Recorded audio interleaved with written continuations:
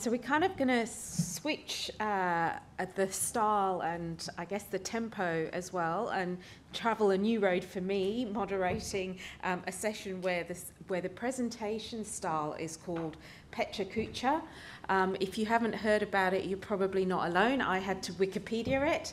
Um, but basically, um, our next speakers are set with the challenge of uh, being limited to 20 slides, um, ideally with minimal uh, words and each slide transitions automatically every 20 seconds. So um, go for it first. I'm going to um, introduce Dr. Jacqueline Scheisser, um, whose presentation title is Stem Cell Derived Beta Cells, The State of Play.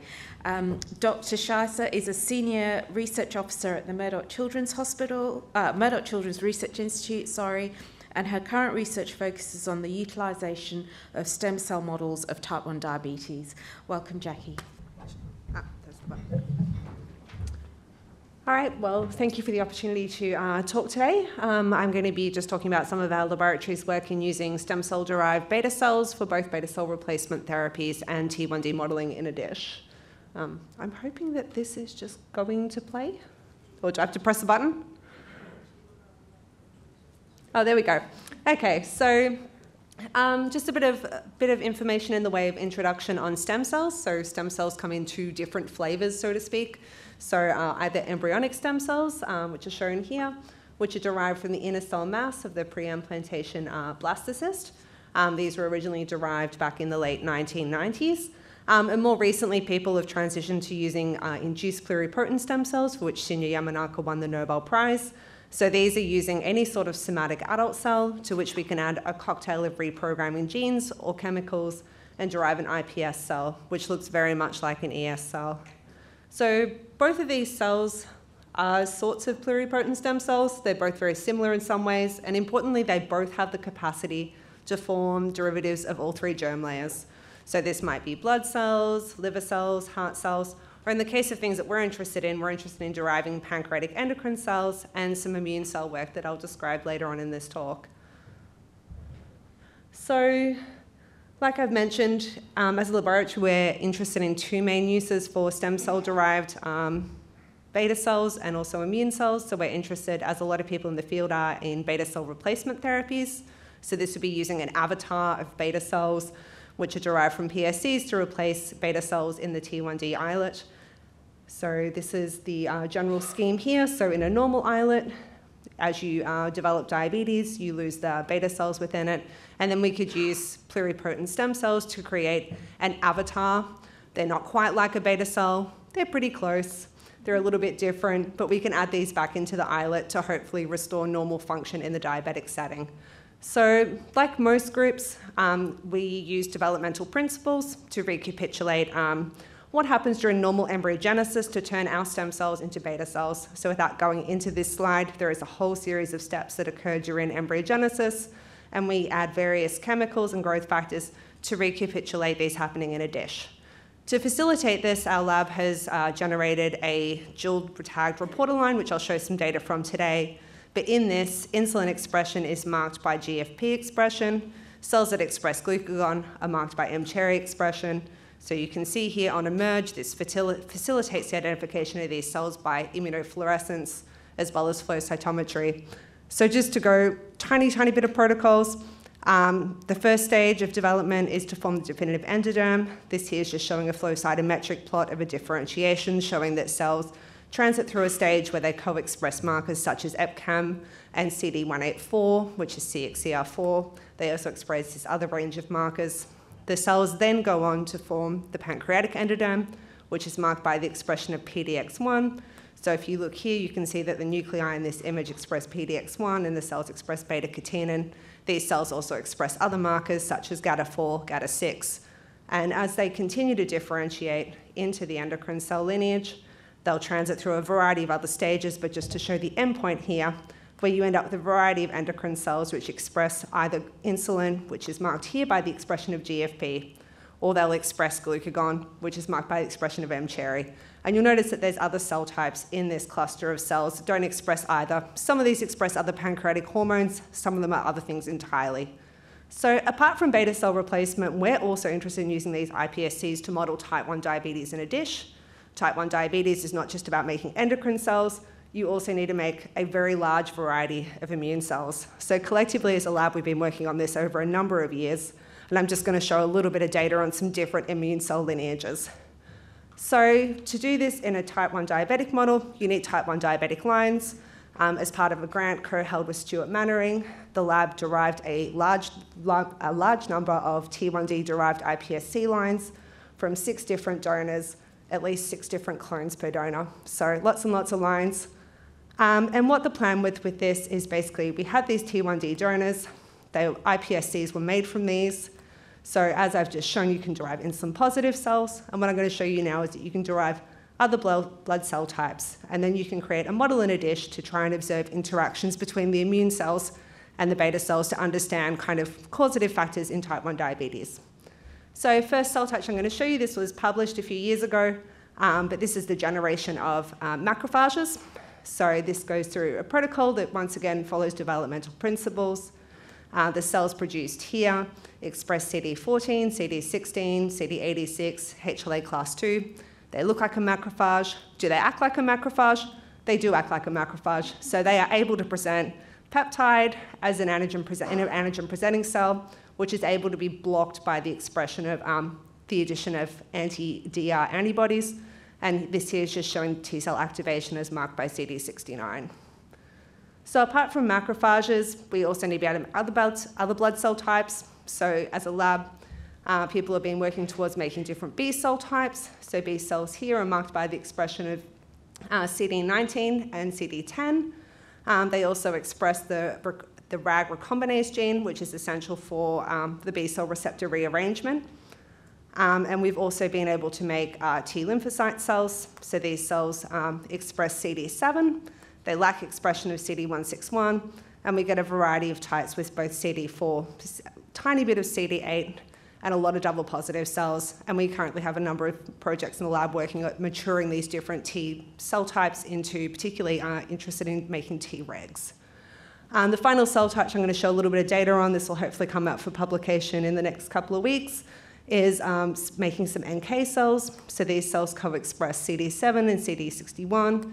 They lack expression of this RAG recombinase and they express CD56. I'm not showing any functional data, but these cells do have some function in vitro. So the current work in the lab is to basically combine all these different cell types and then we can start factoring in things like Coxsackie virus or different enteroviruses or different other factors that you might want to look at and look to see if we can actually try and understand some of the processes that happen behind type 1 diabetes. All right, so in summary, as a lab, we're kind of interested in using PSCs uh, in two different ways. So we're interested in both beta cell replacement, uh, particularly in optimizing endocrine cell generation cell protocols, um, as well as using both the beta cells derived from PSCs as well as various immune cell types as a disease model to study, to study cellular interactions that occur during type 1 diabetes. So thank you to everyone that contributed, um, and thank you again for the opportunity to speak today. Thank you very much, Jackie. Um, so next, it's my pleasure to introduce Professor Peter Thorne um, who's a professor at the University of Sydney and chair of molecular and cellular physiology, running his own research group, the Thorne Lab. Thorne Lab uses cutting edge microscopy, transgenic, and molecular approaches to understand how insulin secretion is regulated in health and disease. And Professor Thorne's going to talk to us about how to improve beta cell function within an implant. Thank you.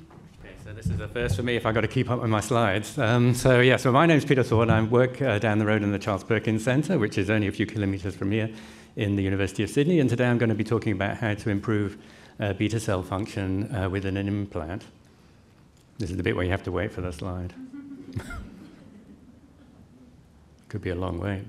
Here we go. Right. So, like many people, we've been captivated by data like this, which is showing you uh, the effect of islet transplantation. And this is somebody who has very poor glucose control, as you can see on the left hand side. But after the transplant, then actually the glucose control is very good and almost normal. So, this is very promising in terms of cell based uh, treatments. And of course, we're looking on the horizon to stem cells, and we just heard from a talk there. Uh, the stem cells uh, could provide an infinite source of beta cells. And at the moment, they have many of the characteristics of beta cells. They secrete insulin in response to glucose. But they don't respond to normal glucose levels and they don't secrete su- sufficient in, uh, insulin to be actually a treatment as such. Now, the template that's driving stem cell research at the moment is very much looking at the single beta cell, and this is a, a cartoon representation of stimulus secretion coupling within a beta cell, showing you glucose entry, closure of potassium channels, the opening of calcium channels, and the entry of calcium, and then the triggering of insulin secretion. However, when you look at a beta cell, that's only one part of the story, and we know that they are strongly influenced by the environment, just like we are. So if they're in a poor environment, like we would be on the left-hand side, then we're not very happy. But you provide us with the right stimulus, the right environment, then like on the right-hand side, we can be happy. And so that's really what we're looking at in the lab to try and understand how the environment is influencing uh, beta cell behavior. Now, the thesis in our lab is that it's not just sufficient to identify what might be influencing uh, the islet and then putting it in a blender and then crossing your fingers and hoping for the best. What you need to be able to understand is how that environment is presented to the beta cells and then how the beta cells actually respond to that environment. So this is a summary of the presentation I'm going to give today. And what we know is that when we're looking at beta cells, almost all the beta cells within an islet will make contact with the capillaries. And we know that capillary contact is very important. And as I'm highlighting here, it's a region where you get targeting of uh, exocytosis of insulin granules. And it's also a region where you have enrichment of calcium channel activity. So the primary method that we use in the lab is the slice technique. So we've got a live pancreas on the left-hand side. We inject it with low melting point agarose section it on a vibratome, and then you can see on the right hand side that within those sections you can clearly identify individual islets. Now, the importance of using this technique is that it preserves the structure of the islet. And what you can see here is just a, a, a, record of one of the slices where mostly what you can see is exocrine tissue, so that's what you can see in the red. But you can see that there's two little islets there, and then you can see that's also the image that's been used in the pamphlet uh, that's used here. Now, if you look in more detail at those islets, should be in the next slide we can see that the structure within the islet, within a slice, is very well preserved. So I want to highlight the green that's showing you laminin staining, which is a basement membrane protein in the system. So it surrounds the islet as a capsule, and it also surrounds each of the individual capillaries that are running through those islets. Now, if we compare this slice preparation to the standard islet, isolated islet preparation, then we can see there's a dramatic difference in this laminin staining. On the left-hand side, you can see the staining. The laminin is very fragmented. That's the isolated islet prep that most people use. But on the right-hand side, you can see the preservation of the structure in the slice, and it really is very dramatic. You can trace all the capillaries within the islet. Now, this is the same image that I showed you before, but now I want you to focus in on the red. Now, the red is a protein uh, called liprin that is present in beta cells, and we know in other cell types that liprin is responsible for the control of secretion. And what you can see when you look at the distribution of red is it very closely aligns to where you've got the capillaries, which were stained in green, as I said earlier on. Now, this then entrains the response of the beta cells, and what you're seeing here with the yellow is where I'm identifying, or we're identifying, each individual fusion of an insulin granule. And what we can see is that the fusion of those insulin granules is closely aligned to the capillaries here, so along the bottom and also along the top. In addition, we can see upstream when we look at the calcium response that is, that is responsible for actually making the insulin uh, granules fuse, is that that is also orientated with respect to the capillaries. So here we're looking at a response to glucose in a single cell, and you can see the very first calcium response is where the um, beta cells are adjoining the capillaries, and then it spreads as a wave across the cell. Now, overall, when we compare the responses that we're getting in the slice compared to the isolated islet preparation, which is the classic preparation, you can see that across all the doses of glucose, we can see an enhanced response to insulin. And also, when you're looking at the lower concentrations of glucose, you can see a response uh, in uh, insulin secretion in the slices that you can't see in the isolated islets. So this is a cartoon representation of what the picture that we're building up, showing you the islet capillary interface. I've shown you that this is a region where we get insulin granule fusion preferentially occurring. And I've also shown you that this is where we get an enhancement of the calcium response, and it's the location of this protein called liprin. Now, what we're working on now is to try and understand how all of this apparatus actually gets positioned in the right place at the capillary interface. And we're looking in particular at a protein there called LL5 beta, which is associated with microtubules. And uh, in my lab has shown that it couples to ELX, which is part of that complex. In addition, we've been looking, we've had a long-standing interest in integrins, which are enriched in this region. This is they're, they're what's responding to the extracellular matrix. And recently we've been working on the protein that's colored in yellow there, which is CANK, which we've shown is linked to the integrins and is also then coupling to this apparatus. So we're beginning to build up quite a complex picture that is showing you what's happening at this interface.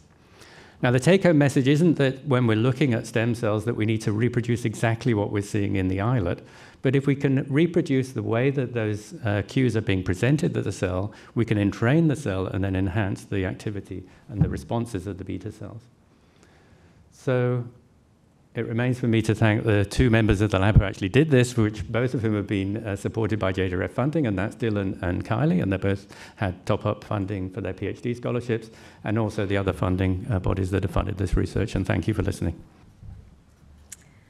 Um, our next speaker is uh, Professor Assam Al Osta, um, whose presentation is titled EZH2 Inhibition Influences Pancreatic Progenitor Capacity Professor Al Osta is an epigeneticist dedicated to understanding health and disease. His team explores the relationship between different classes of co-repressor and activator complexes and the regulation of chromatin remodeling events in maintaining gene expression implicated in disease. Welcome, Professor Al Osta. So thanks for the, uh, the opportunity to present some of our data. I'm a transcriptional biologist with an emphasis on epigenetics and its role in uh, beta cell biology.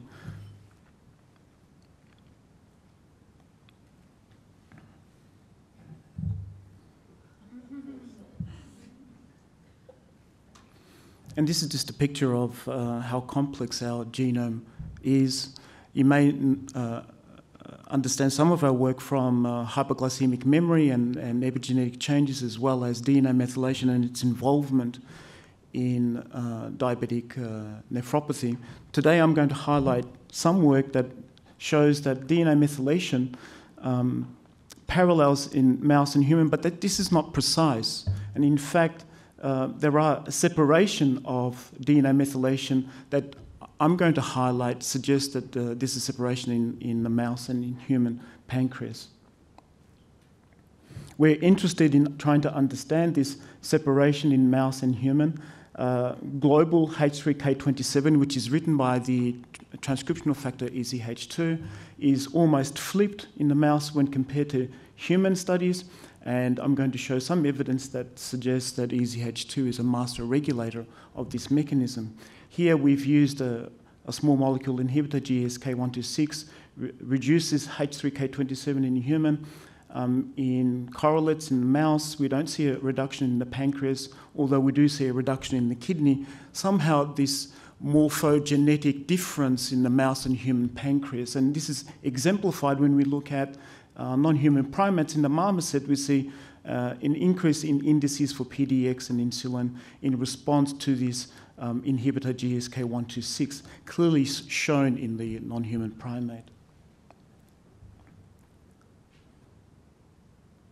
And this is just an example of uh, studies that we've performed with St. Vincent's, highlighting that beta cell uh, indices, progenitors, and exocrine factors are vastly different between non diabetic and type 1 diabetic donors.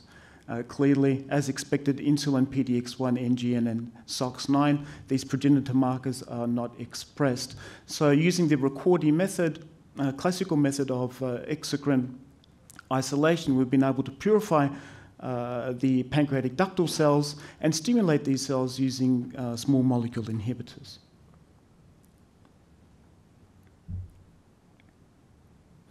Here we confirm that these uh, inhibitors of EZH2 indeed re reduce K27, does not touch the acetylation mark on the same residue, so it is very specific and there is no major change in other histone modifications. K9 is suspected to be in response to the K27 reduction.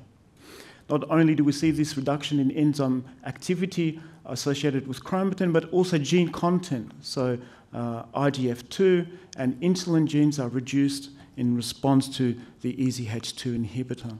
And this uh, allows gene expression. And here we see this uh, when we compare the non diabetic donors versus uh, a child with uh, type 1 diabetes, we see these uh, progenitor and beta cell indices are now starting to become re expressed, including NGN, uh, PDX1, and insulin in response to the EZH2 inhibitor. So, one of the, the, questions that we have in the laboratory is uh, how specific is this for uh, pancreatic ductal cells? So, we've used a number of um, EZH2 inhibitors, GSK126, tazemetostat, which is FDA approved, and uh, triptolide.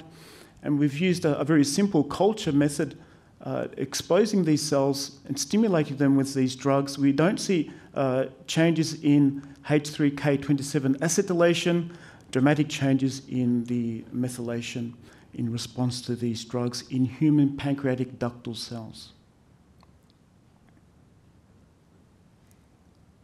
We also see uh, an association with gene content. So this re repressive effect is alleviated. We see reductions in insulin, NGN3, and PDX1 in response to these three small molecule inhibitors, not influencing uh, H3K914 acetylation. So this is a very specific mechanism. And we're also very interested in trying to understand whether there's protein expression as well. And here we, we're now starting to see the emergence of insulin by immunofluorescence after two and seven days.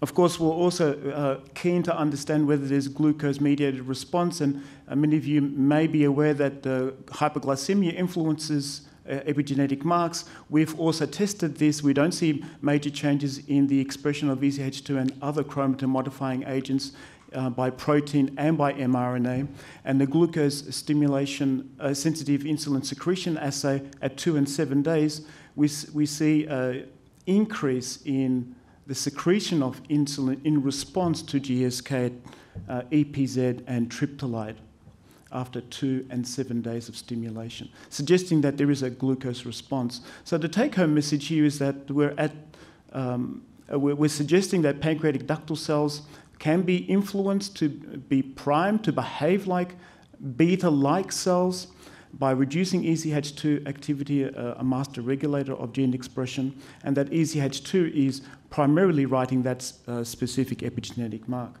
Of course, there are many people to acknowledge, and this is why they're listed. Uh, just a shout out to Keith Al Hassani. Um, Keith Al Hassani and and Sophia. And of course, this, this work wouldn't be possible without our collaborators and uh, uh, th- their generous encouragement by, by Lena and Thomas Ludavaris, Helen Thomas, and uh, Thomas Kane. Of course, JDRF International and the donors. Thank you. Thank you very much. You might have a trick up your sleeve now, Anand, your band. um, so uh, now it's my pleasure to welcome uh, Professor Anand Hardikar, um, who's a professor at Western Sydney University and a visiting professor at Steno Diabetes Centre in Copenhagen and the Roskilde University in Denmark. He's also the vice president of the Islet Society in Sweden. His research foci include molecular biomarkers of type 1 diabetes progression, islet cell biology, and epigenetics. So, welcome Anand, who's going to talk about markers of beta cell decline. And that was functional decline. Um, good morning, and uh, thanks everyone. Thanks for having me. Um, I would like to acknowledge our funding agencies and group members, mainly Mukta and Wilson, uh, in this picture, and that's our new labs at Western Sydney University. So, um, the functional decline during progression to type 1 diabetes is characterized by a genetic uh, predisposition, as you can see here, um, the, uh, the trigger event or set of events, and a functional decline in, um, uh, towards progression to clinical onset type 1 diabetes. And I would like to go through each of these um, just to introduce you the rationale of our work. So, uh, genetic risk is something that can be measured at birth, but a high genetic risk score doesn't really mean that uh, these individuals would have diabetes. And an analogy that I can drive, uh, think of is that if you drive on the road, you're at risk of road accidents. And your level of risk depends on the safety rating of your GRS and also on the situation you're in. Some scenarios are very different, and the risks in Australia are very different to the risks in some other places where you drive on the wrong side of the road. So basically what I wanted to emphasize is that life is highly dynamic, and GRS offers a very constant or static biomarker um, for prediction of this kind of risk. Um, and therefore, uh, to, to, capture more of this ethnicity and environment, um, we need to look at more dynamic markers. So the pros are GRS is once in a lifetime. It's well developed by Exeter Group and analyzed in many several studies, but it provides a constant risk over dynamic lifetimes, and it's difficult to apply across multi-ethnic populations with all the proxies and everything that people have been measuring. So autoantibodies, um, and, and this is um, a bubble plot that I generated using Emily Sims' review, um, a recent review, outlining all the different uh, biomarker screening studies. And you would see that most of these um, are looking at uh, genetic risk scores or autoantibodies, um, uh, with a few of them having a metabolic uh, measurement uh, in them. However, as, um, as you, uh, just to remind you from the Atkinson-Eisenbarth uh, uh, curve, we are looking at functional uh, decline in beta cell mass as individuals progress to type 1 diabetes. So autoantibodies are dynamic biomarkers, they can be measured with relative ease, and uh, John showed us that yesterday. Um, but um, but uh, it's, it's really important to think of the streetlight effect that Dorota highlighted in her talk as well. And therefore, autoantibodies are there already at the beginning of T1D. So what about glu uh, glucose? Because, uh, and, and this brings me to just remind you what Jenny showed us briefly uh, through a study that was recently um, published by the GPAD point investigators in JCI Insight. And what these investigators did was they measured glucose in over 1,000 individuals and showed that individuals who progress uh, to autoantibody positivity had a relatively higher fasting um, and lower 30-minute glucose in the autoantibody progressors compared to the non-progressors. And so um, functional uh, measurements are really important before zero seroconversion. Now, thinking of all this, uh, we, can, we can say that, uh, uh, just as a summary, um, progression is a dynamic process. Um, GRS cannot provide the dynamism. Autoantibodies can, but it's a street light effect. Um, what's a better marker of beta cell function? And at this point, I would just like to uh, remind you of my interest in the field is in microRNAs, which are small non-coding RNAs.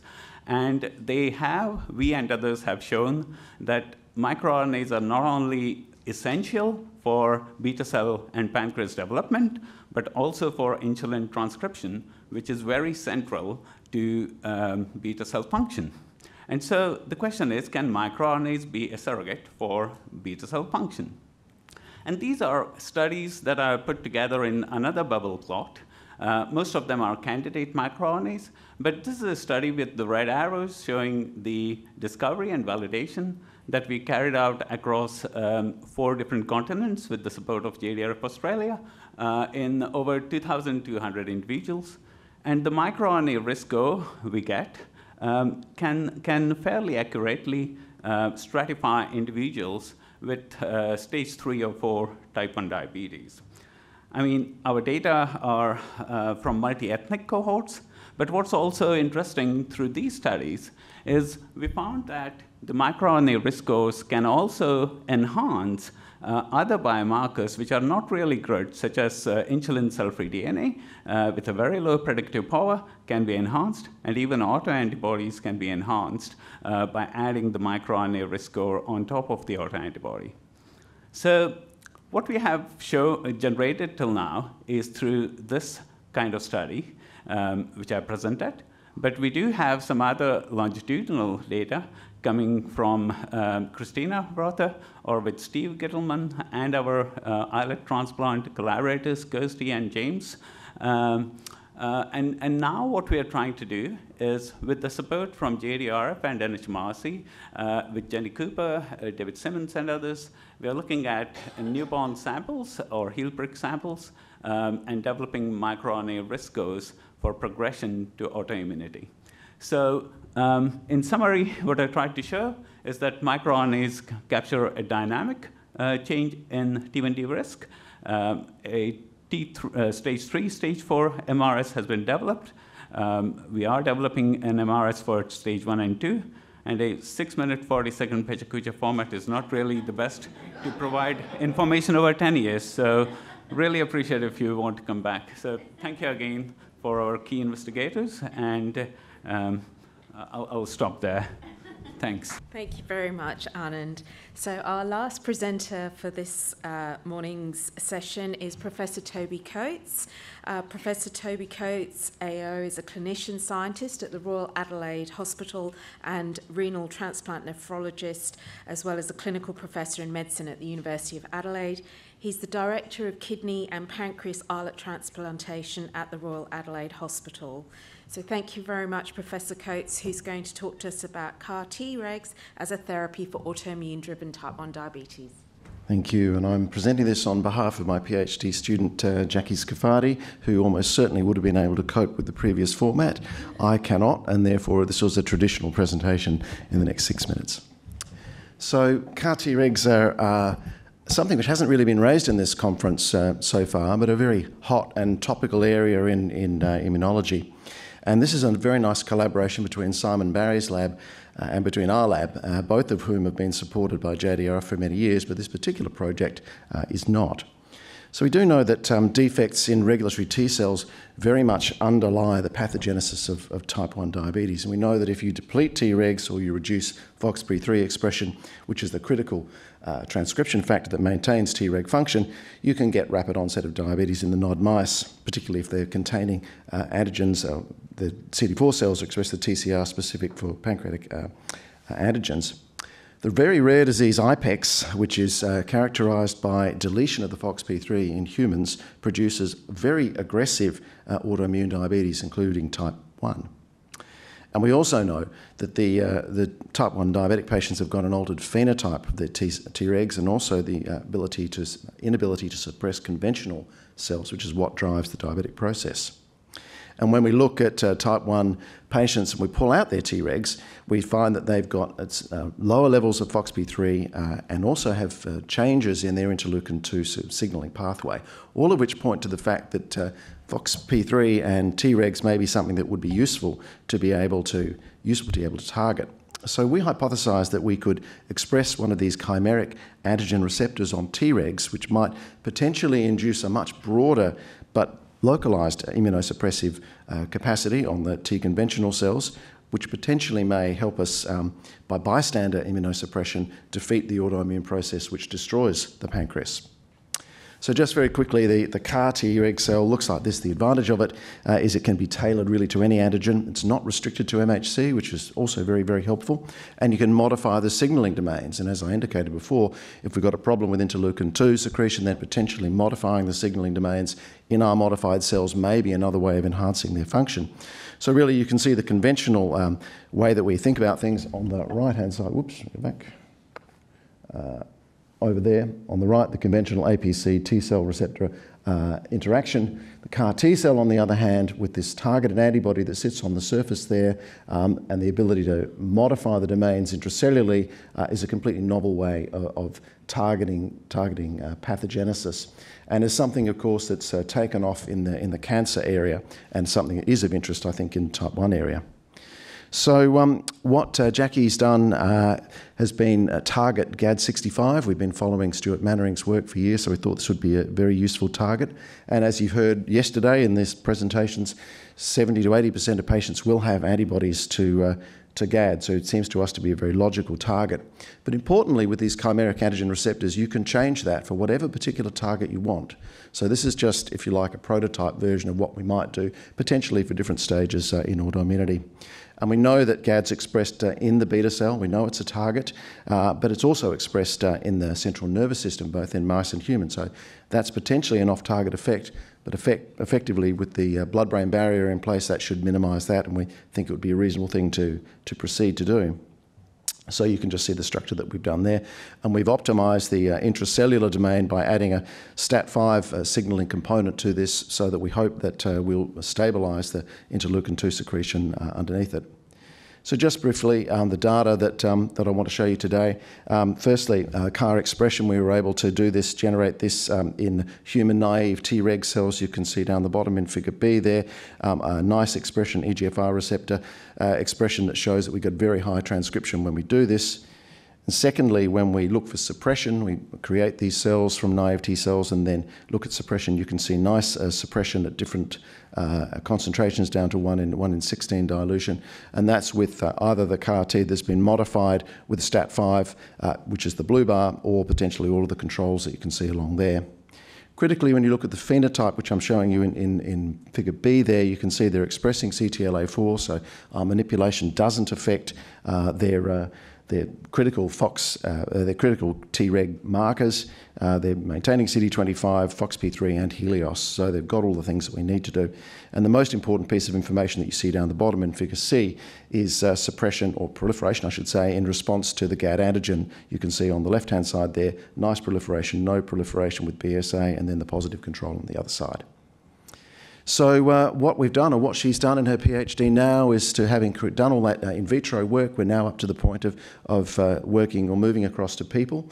And I thought this was a nice slide. This is one of, a, uh, one of our volunteers, so healthy type 1 diabetic uh, donors. We've had five of them come in to have a leukapheresis, uh, which is a procedure where we separate the white blood cells from the red cells. It gives us a very large number of cells, as you can see on that side, which we can separate into the Tregs that we can modify, but importantly also the T conventional cells. So we can do the in vitro experiments now to show that the cells that we modify will suppress uh, in vitro and then ultimately we'll go on hopefully to do some animal work um, and prove proof of, proof of concept. So uh, at the moment, we've got uh, we've been able to generate uh, patient-specific uh, CAR T reg cells, and they do look like they can suppress GAD-specific T cell responses. Um, we could see this as potentially being an autologous therapy, that is, a, a CAR T reg cell to suppress the individual's specific T cell immunity for the antigen that they've got using their own cells. And we're very comfortable with that sort of process because we do a lot of islet auto transplantation, so we're comfortable with doing that sort of thing. So this could be an early prevention or, uh, or treatment of autoimmunity. And of course, from my point of view as a transplant, um, uh, treatment of uh, recurrent autoimmunity uh, after islet or, or pancreas transplantation. Thank you.